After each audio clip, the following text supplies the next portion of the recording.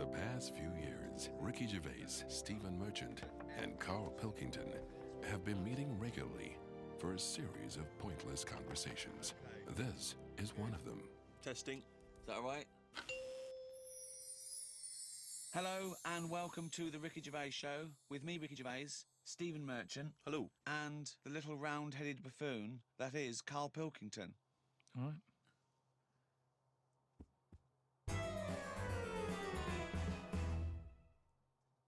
We do, of course, Rick, every week get thousands of emails. Emily from New York has asked uh, Carl this. Carl, if you were on a, a, a sinking ship or you were in a, a burning building and you were with uh, myself and Ricky, but you could only save one of us, I don't know why that's the case, but you can only save one of us. Yeah. Who would you save? Would it Is be it- Ricky or would it be me? I think it's a two-man dinghy. Right, okay. Possibly, and we're, we're trapped, and he knows that if he stays there to get both our legs out from under this thing, The girder yeah, he full dies. So he's got, so he's, he's got room, he's got time to save one. It's obviously me. Um, it's hard to say, isn't it, at this point? What? it Because depends what the Steve's in the room, you mean? Well, no, just just because we, we don't know what, what the situation is. Okay, well, let's say we're on a we're on a sinking ship, all right? So you're going to have to rescue one of us, drag us into the dinghy. It's, it's going under. You know, you know, in 30 seconds, okay, this ship's going to go under and drag you down and you're going to die, right? Uh, and our legs are trapped and you've got enough time to untangle one set of legs. Whose legs do you untangle? Now, just because my legs are long does not necessarily mean it's more complicated. No, it's exactly the same amount of time. Just have to make a choice. Terrible, a terrible choice that Steve would would not, um, you know, hate you for. Well, no, listen, listen, then he all won't be around for long. He's going to drown in 30 seconds. Well- Forget him. Say, bear in mind this, Carl. You are going to be stuck in a dinghy with Ricky Gervais, and who knows how long that's going to take. Think of all the head squeezing that's going to be going on, the comments, the wind. And do you honestly think that he's going to, if there's any provisions, that he's going to split them evenly with you? I mean, he's going to have drunk all the water, and there's only going to be about half an hour in. The food's going to be gone. Look at his gut. Look how much you know of, the, of the food he's going to have to eat. The baked beans that you've got on board. Come Whereas on. me, you know how generous I am. I'm always sort of Oh, helping there you we out. go, Carl. He's. I think he's uh, put the nail in his own coffin. There. You know how generous I am, Carl. Let's talk about that, Carl. Come on, think about that one. Yeah, I mean, have, have you forgot about that, Steve? What? The time, the time when we went for a coffee and we had to have a bit of a heated debate about the 50 pence change. Yeah, you owed me 50p, Oh, I'm not and you decided you didn't want to give it to me because it was only 50p. And my point was, it's not a question of 50p, it's the fact that it's not your decision to decide not to give it to me. If I wanted to be generous, that's my decision. But you can't go, oh, it's only 50p, It's, Steve. it's my decision who But you just it. you just given him a free keg of beer.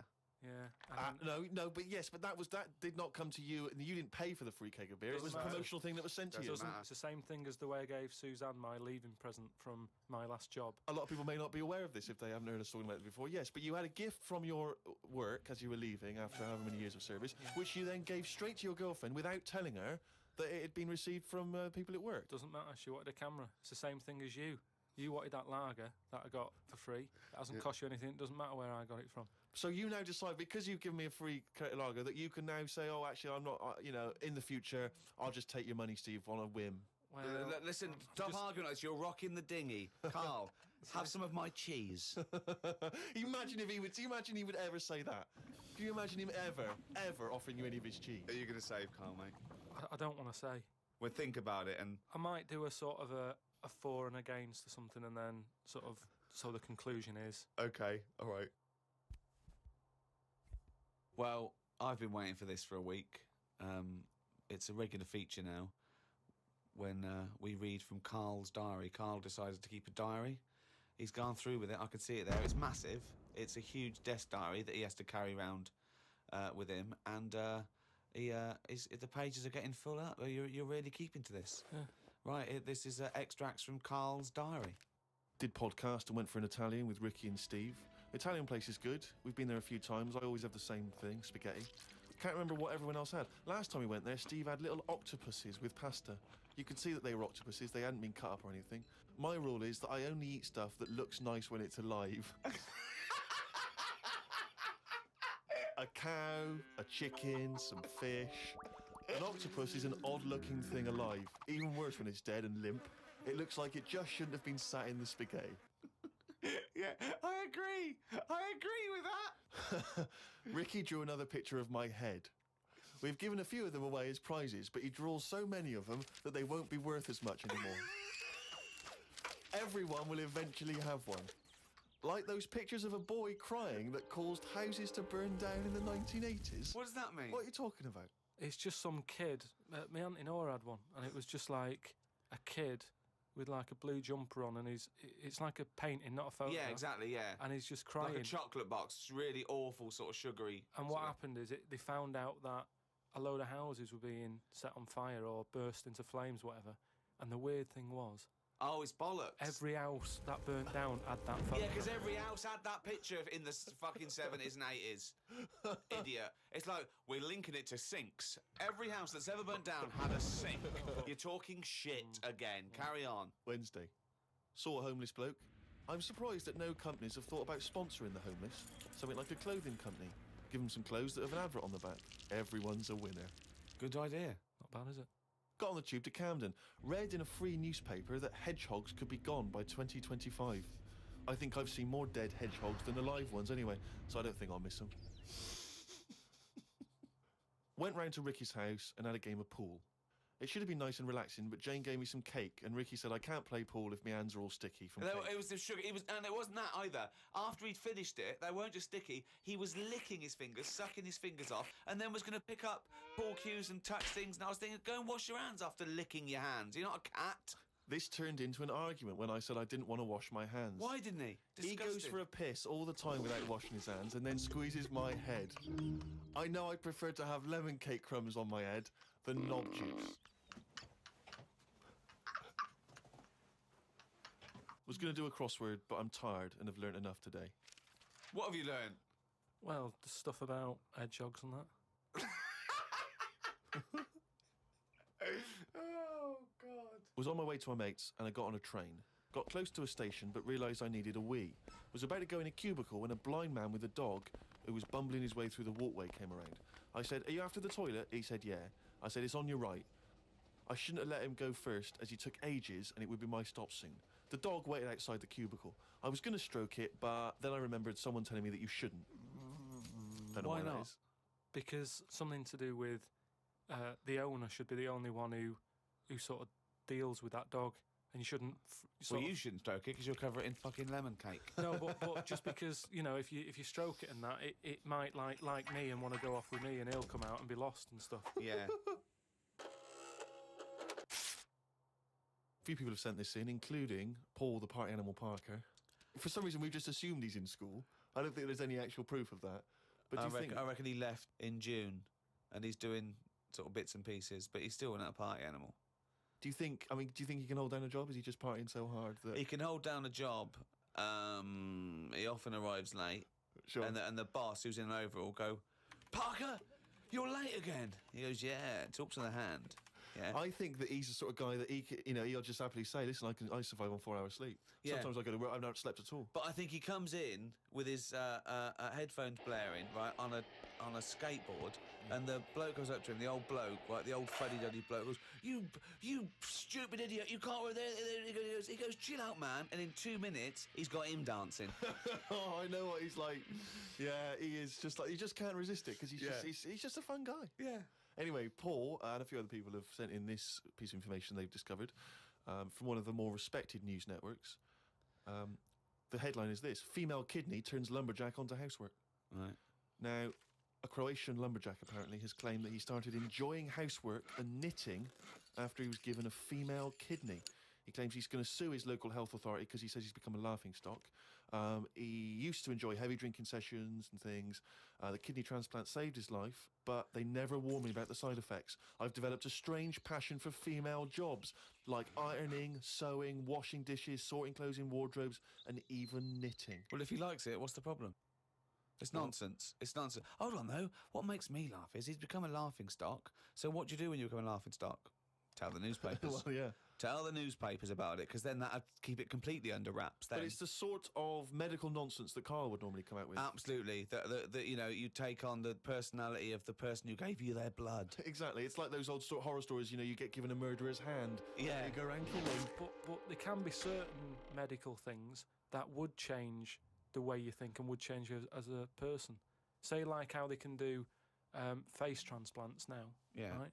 I mean, I, I don't quite understand how this face transplants work because do you get a choice of who, who you have? If if you have something done to your face and you go, you know, it's burnt or whatever, or something happens to you and you need Well, a people- face transplant. Well, if you change, if you totally changed your appearance, then you would eventually change because of how people reacted to you. Yeah, but I- I so if you gave yourself the head of an elephant, soon you wouldn't you wouldn't be yourself But I wouldn't of the. have it. I wouldn't have that. That's what I'm saying. If they had a catalogue Yeah. and they said, "Here's some faces you can have. Pick which one you want," Yeah.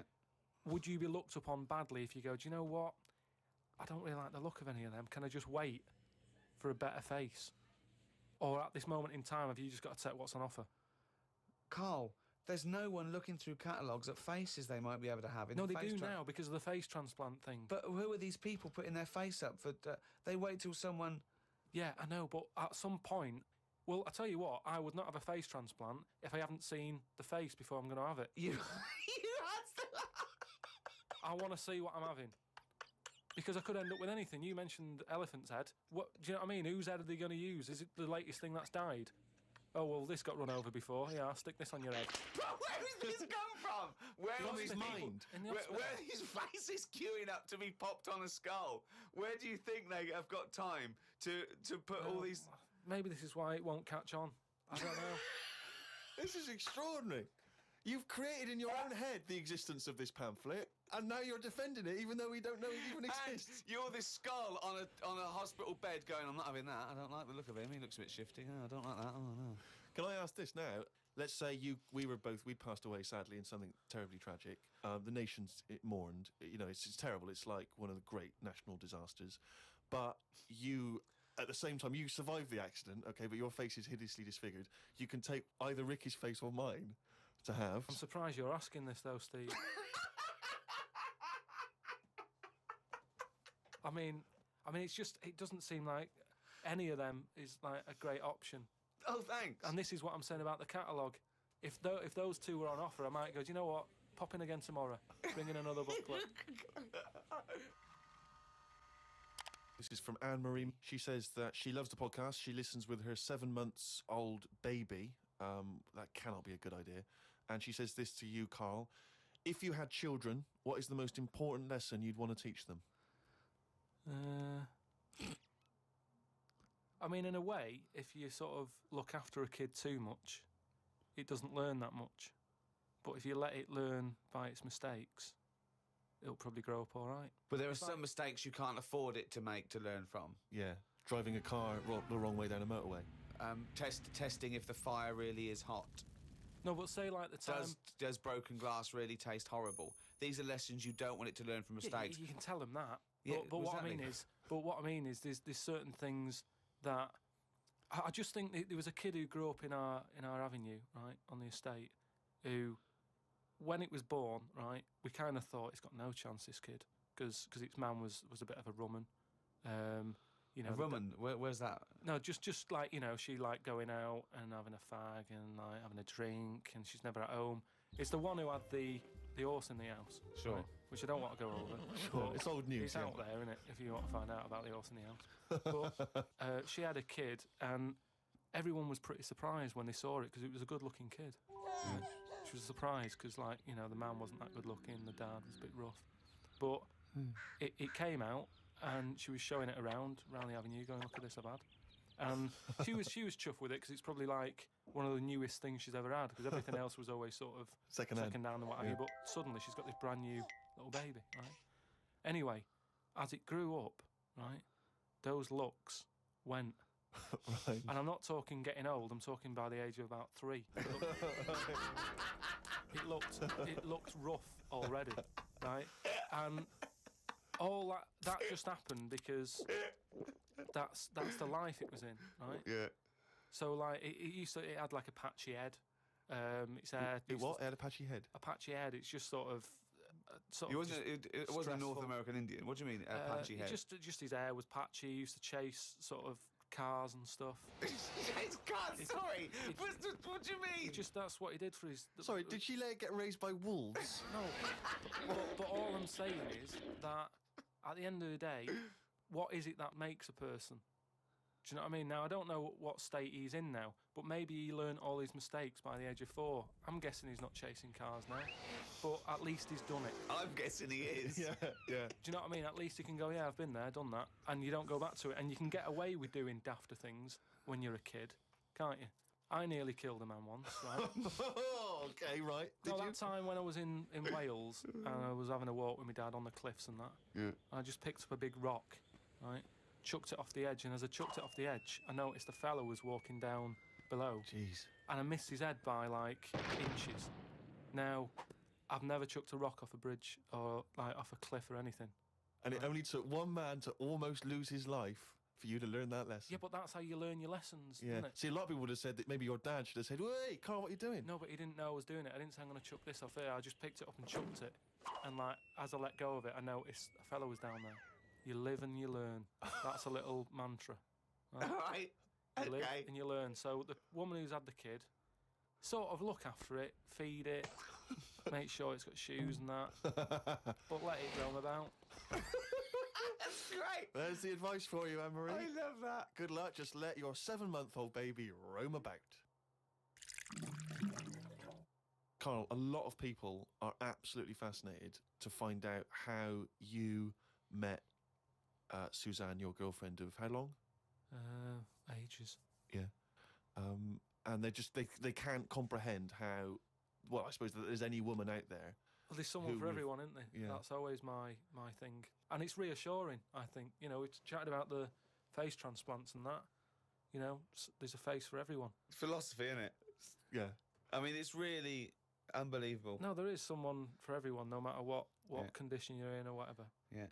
Because there's a I read on the email someone emailed in an old Chinese proverb.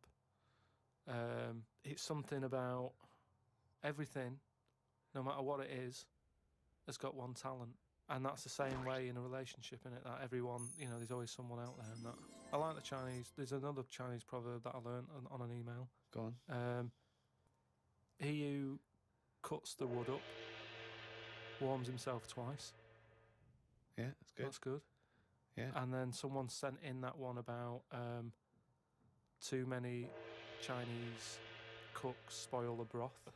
Why, well, why is well? That's I don't know. I don't know, I don't know who slipped the word Chinese in there, but I heard it was too many cooks. Well, it was all it was just all sort of Chinese proverbs and that.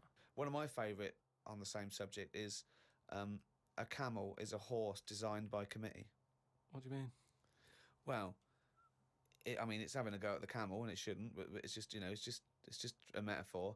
And if you wanted to design a horse and you had that vision, but you let you let twelve people in a room have their say, it wouldn't come out as you wanted it to do, and it wouldn't be as good. A vision is more perfect than committee, because everyone having their say, it becomes anodyne, it becomes compromised. Whereas the best things you can do is have an idea and have a vision and auteur that. Rick, can I just say now? I can tell from his look that he's thinking, which committee designed the camel?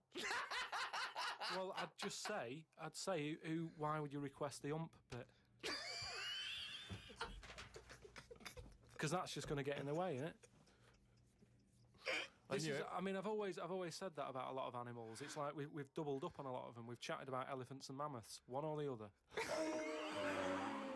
and that's the same with a, with a camel. I'd have that up there as what what they're doing. They were good years ago in the Jesus times and that. Don't need them now. You know what I mean? We've moved on. Well, not people who use camels to cross deserts. What other? I'm Bedouin gonna, I'm, gonna, I'm communities. gonna throw some animals at you, and you tell how, how, how you'd have improved them if you'd have been designing them. Okay? The octopus. So I, I can now go back. I can look at them and go, what are they doing? And what, what, where have they gone wrong? What's up with it? What, what, how could you improve it? Like the camel, you'd go lose the amp. I'd probably, I'd probably give it a bit more of a body. cut down on the arms. Um, and and give it some bones because I don't understand all this. It getting in a jar is is good. When does it want to get in a jar? It says Well, it only wants to get in a jar according to your stories. no, but there's something that says it can get in a jar because it hasn't got any bones. But I don't know why it want to do that in the first place. Easy. I can't even begin to answer that. Once again, you've you've said you've claimed that you've read that they like to get in jars. I mean, how do they know that octopus like to get in jars? Oh jars? God, look, you can improve on an octopus. Millions and millions of years of evolution, making it perfect for its surroundings. Okay, another animal for you then, Carl. Um, uh, Giraffe. Um, what what are they adding to to the world? What are they doing? well, it's not about what they add to the world, no, but is I it? thought But I thought that's what everything's about. It's about things are here for a reason. A lot. the, of- the reason they're here is because they didn't die. That's it. no, but there seem to be a lot of animals that are like. Do you think there's a lot of cheating? Is that what you're saying? Oh, There's I'm a lot just saying, of there just doubling seems up. to be a lot of doubling up. Yeah, so you want you want you you ju- you get it down to like eight animals that represented all of it. So All do you- I'm- okay, who would get in your in your team? You can choose No, well, eight this, is, this is what I'm saying. If I was Noah, I Mm. would have gone like, hang on a minute. With, I've just seen something that looks a bit like this. Let it drown and have a clear out. But he didn't. He was messing about saving everything. He was instructed by God to save everything. To Yeah. be fair to him. Yeah, but if he's been given that job, for me, he's sort of manager of that job. With so you be- so you believe With Noah as well. You Well- believe you believe Noah happened as well, and he built a boat big enough to to catch two of every species. You actually believe that as fact, dear? well, it's it's out there in book form. Brilliant. All right, We haven't answered the question that we started with. How did you meet Suzanne? just that work. Thanks.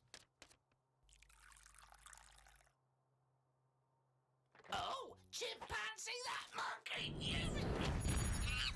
There was this um, airline, and um, was having a lot of problems, and, and a lot What of the- pilot's too tall? Yeah, the cabin was so tiny. Only bananas were allowed in the cockpit for fuel. Anyway, Yeah. there, there was a lot of strikes going on, right? Sure. Because um, I don't know what it was about. It was over money or whatever. Yes. And the Well, get get someone that doesn't need money. yeah, but but Well, But what else could you pay something in, well, Rick? I mean, everyone peanuts. Would- So- okay, peanuts or, or fruit. Yeah. so anyway, the the boss of the airline, the, he Oh. had like one pilot who he could trust, right? And that was his son. Right. But the problem is with a lot of these planes, Mm. you need two pilots. Of course you do. And he's like, if only I had two sons, but he didn't. There's no point harping on about it. Right? Sure. Is I've- it, I've- a, he runs a he- airline. He runs an airline, yeah. But how many pilots are there? Because there must be loads. No, there's loads, but the problem is a lot of them are going on strike. Ah. And each week you can see that we're struggling here. We But how can they Yeah. just just close it down? No, Anyway, you can't do that, no, Rick. I He's- can't- Of course you it's can't. costing do him a that. It's just- fortune if he closes it down. Yeah, but what one plane's not going to make a difference in an airline, is it? No, no, no, it's all the It's all planes. the planes, mate. So the son, he's Mm. flying the planes and that. He's getting worried for his dad because of his business. It's falling Sure. apart. He's like, anyway, listen, Well, one plane won't make any difference. don't worry about it. We've found someone who you can work with. He said he's staying over near the sort of quarantine area where Oh. all the animals are kept Oh and yeah, stuff. right, okay. They won't be looking in there. They won't bother. No. So he's like, all right. Uh, there's no you- animal that could be a co-pilot. That's why. I'll see you. Uh, he'll meet up with you in the cockpit. Like, He'll meet up in the cockpit, yeah, sure. So anyway, he gets in there, he meets them. At first, a little bit of a shock who he's going to be working with, but Why? he's thinking, as long as I can keep my dad's business alive, I can Not with keep a one job. plane. Everyone's happy. Then one day, what Mm. happens is a little bit of uh, a bit of a problem. Oh, Uh, dear. Well, what Oh. happened is uh, one woman who was on the on the plane got a bit peckish, right? Right. And said uh, said to the air hostess woman, said, "I'm a little bit peckish. Have you got any sort of nibbles and that?" She went, uh, "No, I've got got a sandwich." She said, "I don't really want a sandwich. You want something, you know, like the usual stuff that planes give out, just like a bag of Nuts, nuts or something." bag of What, nuts, are, are yeah. they not giving those out yet? So no, they don't give it for some reason. She was like, "Look, we've we've stopped giving out the nuts. We can get you That's a sandwich." strange, And the woman's yeah. like, "I don't want a sandwich. I just want some nuts. Do you know what I mean? yeah, A sandwich is quite a big meal and what. I just want some nibbles, want some nuts." Well, no, that's not available. So I Done. can't- End can't- of can't story. get- So she said, "Well, you're saying there aren't any nuts." She Yeah. said, "But earlier I saw you put a tray outside the cockpit, right? It had a sandwich on it, two cokes, and two bags of nuts." Right. She said, "So you're saying there aren't any, but the pilot's getting." Well, aren't they now? That was the last two packets. Done. no, no. So Let's go home. well, well, I'm, I'll go and have a word with the pilot myself because you only put them out there a few minutes ago. He can't have eaten them yet. I can't. want You- some. you I'm going go- over. no, I no. know this is it. This Yeah. is. She was saying you cannot go over. She's going. No. Listen, Yeah. I'm going to go over because No, I feel no, like I'm being lied to. No, you can't. So she goes, starts, no, and, there's and no the way. pilot can well, hear all can't this get in anyway. chat about the nuts and what have you, and he's thinking, what's going on out there? Yeah. He opens the door. right? Yeah. She gets a glance in. The monkey sat there with headphones. on. Fucking bollocks.